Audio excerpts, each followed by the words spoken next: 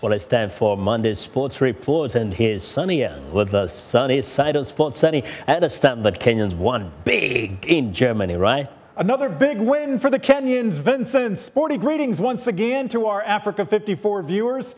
Kenya is celebrating another sweep of the men's and women's titles at a major international marathon. On a beautiful morning in the German capital, more than 40,000 runners lined up for the 42nd BMW Berlin Marathon. After the starting gun fired, top African runners shot to the lead as the drums beat in Berlin. Eliud Kipchoge, who won the London Marathon in April, added the Berlin crown to his impressive athletic resume by clocking two hours and four minutes even. Well done, Eliud.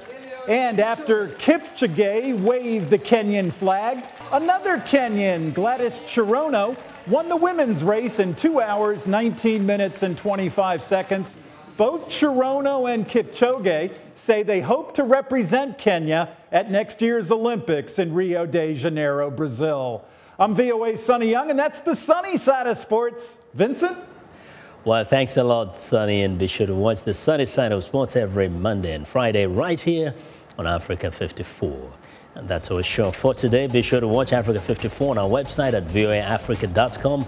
For more news, tune in to VOA's evening radio show, Africa News Tonight at 1800 UTC. And in the mornings, to Daybreak Africa between 0300 and 0600 UTC, Monday through Friday. Thanks a lot for watching from all of us here in Washington.